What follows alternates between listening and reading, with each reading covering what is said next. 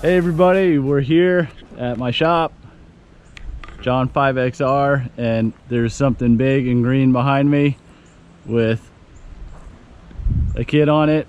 It's definitely not for the kids, so let me tell you what I got.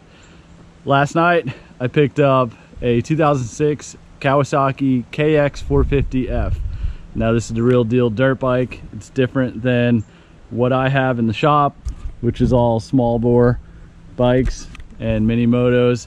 So the reason for this is because I was looking to get into some vintage racing and motocross and seeing if Rennen wanted to get a little bit more serious with his Pee Wee 50 and uh, we're not sure where that's going to go but I always thought if I have the opportunity to pick up a bike that I know is, uh, has been in good hands and is uh, a good bike all, all around for uh, both trail riding, uh, lugging around with Rennen on his Pee Wee and also if I wanted to get out on the motocross track. So with that I settled in on this uh, 2006 KX 450F, which is the first year of the 450. Hey, what are you doing? What do you want to show us? You want to show us something? Rennen's gonna show us something. Go. He's on his bike. That's his dirt bike. What is that? What kind of dirt bike? He calls it a DRZ because I used to have a DRZ 400 which uh, was the first bike that he knew me having because he was a little kid. So he's still a little kid, but he was baby at that time. So anyways, back to the Kawasaki. So this bike came to me by way of a friend who also works with us in our business. He's a machinist and he builds a lot of parts for us. So I know he's very uh, intricate, mechanically inclined. He's had this bike, second owner, and uh, I believe the story is he got it from the first owner who rode it one time and he broke his foot and then got rid of it. So he's had it ever since 2006 2007 so it's been in great care. It's uh it's been done over. The shocks have been gone over for a heavier rider.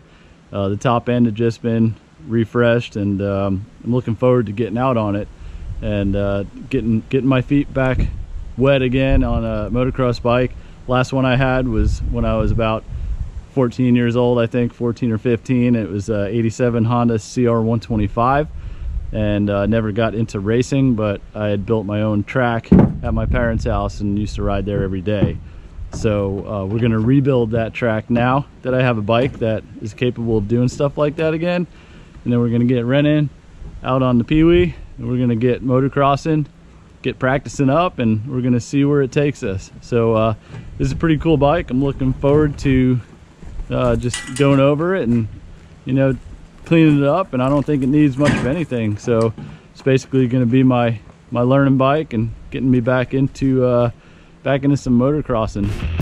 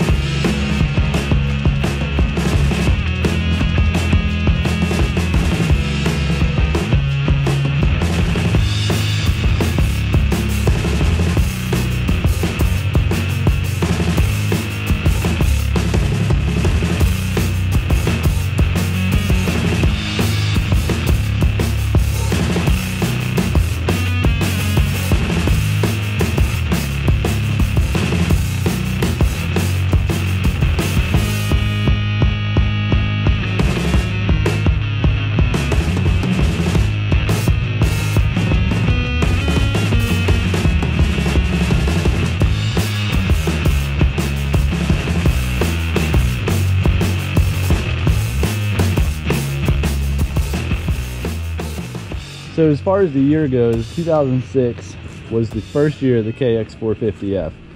There was no 2005. As they were developed in 2005, there was a frame problem uh, that developed. So they canceled all production on 2005s and then moved straight to the 2006 model. So this is the first release of the 450 four-stroke from Kawasaki. And with that year awaiting, and they redesigned the bike almost entirely, it was uh, it was a good thing because the bike came out to positive re reviews. And as reading, the only real difference between this bike and the other bikes is the uh, four-speed transmission it has versus the other bikes that have a five-speed. To me, that wasn't a big deal and actually a plus because the wider span and gears, the wider range is probably better for slow stuff and trail riding so I can stay in the gears a little bit longer and I'm not having to shift up and down so fast. So that really wasn't a concern of mine at all. And actually not even going to the concern level, but more a plus level. So it was actually a better thing, I think. And other than that, it's a pretty hopped up setup here. You got titanium header pipe and exhaust system. So stock exhaust on it's really good and internally I think it had titanium valves which is a cool thing and some other aspects of it that I've read about and can't remember but overall I think it's a pretty decent bike and although um, majority a Honda sort of guy based on habit uh, with dirt bikes and race bikes and stuff they're all kind of even and and for the most part for a rider like myself that's not going to race hard or know the difference between a good bike and a bad bike per se.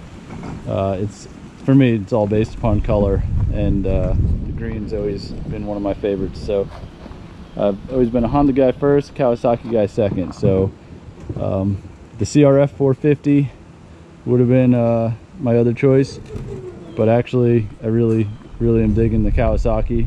I've always, uh, always liked them. So now they got one here.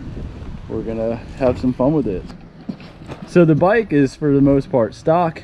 I really don't think there's anything done to it as explained from the previous owner. The factory connection revalved shocks and resprung shocks. I think they're sprung for 180 pound rider, so that means I gotta lose 20 pounds, which is probably not a bad thing. And other than that, looks looks very, very stock and not too bad for uh, 2006. So it's just been like I think for last I don't know how many years has really just been a uh, twice a year ridden bike and trails and stuff. It hasn't been raced in a long time. So it's been trail bike, like twice a year trail bike, I guess, for the last I don't know how many years. But it has been raced. It's uh, been hare scrambled, and I think it's been motocrossed earlier in its life. I'm not exactly sure what my path with it is going to be. We're definitely going to trail ride, and we're gonna try to get our feet wet both of us on some um, light intermediate sort of beginner motocross tracks here. Rennen's coming up on his Pee 50 and his Kawasaki KDX 50 you know JR50 conversion. And then he'll be up onto a Honda XR or CRF 50 and then with that I wanted a little bit bigger of a bike that could go over the rough stuff and you know hang on the trails and uh, other than the uh, Groms and CRF 110 is my next biggest off-road bike. So that's not really gonna do too much if uh, I wanted to learn motocross or ride heavy trails. And the monkey of course we do stuff with that that it shouldn't be done already. But motocross and heavy trail stuff not really going to be the right direction for that. So that's why I picked up this. And uh, I feel like I got a pretty good deal on it. I paid two thousand dollars and that's a pretty fair price in comparison with the other stuff I've seen on the market here on Facebook Marketplace. Uh, there's been some really nice looking bikes in Marketplace, but the problem is this sticker right here, this uh, OHV sticker, off-highway vehicle sticker. And with that sticker, you are allowed to ride in state and uh, public controlled um, motocross and off-road parks. So without that sticker, you might not be able to ride in those places. So the one thing that you need for that sticker is a title. So that is a huge plus for this bike is that it came with a title. It's already been registered. It's got all the paperwork with it and all the stuff that uh, you see on Marketplace is shiny and new as it looks on the ad. Sometimes doesn't add up to be the best package because it's missing a title or you don't know the history of it. So with this bike, I had all the check boxes ticked off. Title, knew the previous owner who was the second owner. He had cared for the bike, knew everything about it since 2006, 2007. And uh, it's been tested on both trail and track. And uh, with that, there's not many questions that I had with the bike, not many unknowns. So that put together a pretty good package for me with price, previous ownership, and uh, history. And of course, you know, maintaining most of the stock parts, which is always a nice thing to have because if you wanted to upgrade, you're upgrading from stock. Hope you guys think it's cool. Um, we'll probably not focus too much on the bike. We're gonna keep focus on the Honda Monkey and the Honda Grom and the Mini Moto stuff. But I just thought you all would like to see a little update on what I got and what's going on. So thanks for watching.